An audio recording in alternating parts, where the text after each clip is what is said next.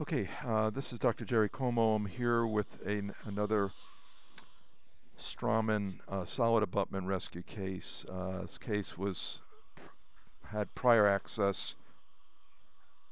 Thank you.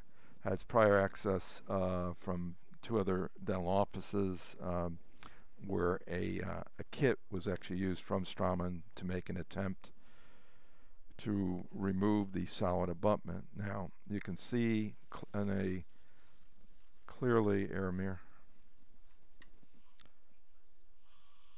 that um, there has been just ever so slightly a little bit of abrasion occurring uh, over the the actual lip of the um,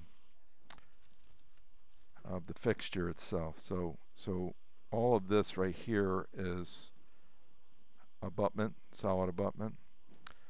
Um, so what my attempt is going to be is I'm going to do a mock uh, removal. We'll take an old abutment, lock it onto an implant. I'll do a mock removal first, and then um, based on that data, I'll come in and and uh, make an attempt to um, to rescue this case.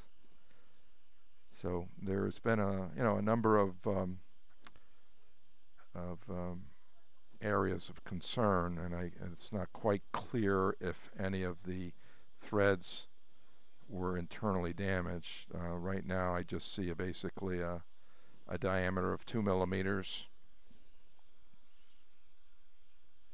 and also a depth of close to three, just under three millimeters in depth.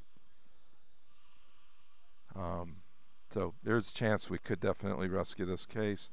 Um, it's all going to depend on whether or not the diameter that was created is um, is in any way uh, impinging upon the the threads.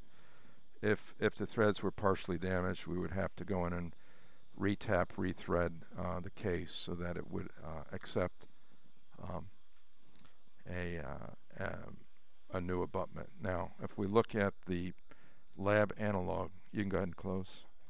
Looking at the lab analog, know, we see that there is a, a clinical depth of close to uh, five, six, seven, about seven millimeters all the way down to the, the base. So right now we're right about three, so you're looking at uh, has not even entered the thread portion at all. So we're way above the thread portion still.